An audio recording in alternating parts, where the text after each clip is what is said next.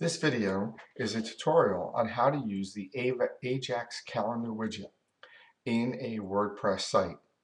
Now, I have already loaded this plugin and I'll first take you to the list of plugins so you can see exactly which plugin we're talking about.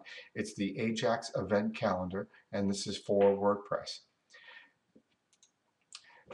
So the first thing you want to do is look at your calendar categories and you can see those categories here.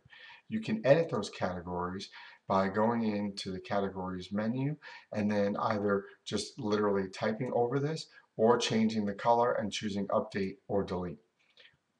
Assuming that your categories are, are correct, uh, you can very easily add actual events on your calendar by clicking the day that you would like to have the event take place. You'll see a uh, dialog box will open.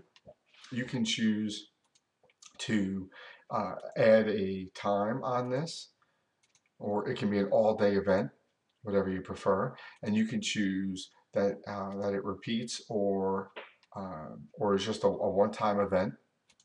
Okay, so we're going to choose this just for purposes of display.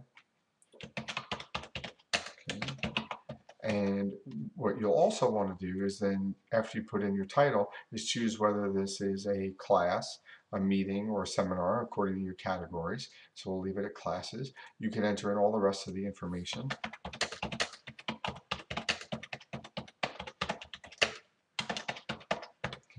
And then hit add. And you will see that this will appear in your calendar.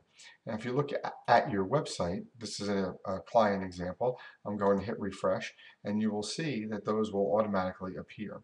And if you click on those, uh, you will see I'll give you the information and the details to the event. Okay, you can simply close that. And deleting those events are also quite simple. You can click on them from your calendar, hit delete, and they will go away. So that's it. Very, very simple.